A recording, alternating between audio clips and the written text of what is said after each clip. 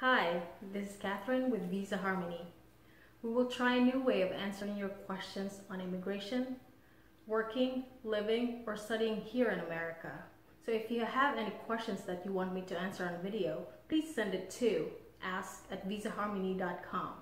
Please give as much information as you can so we can assess your situation so that we can give you the best possible advice. So let's try this out. Send your questions to ask at visaharmony.com.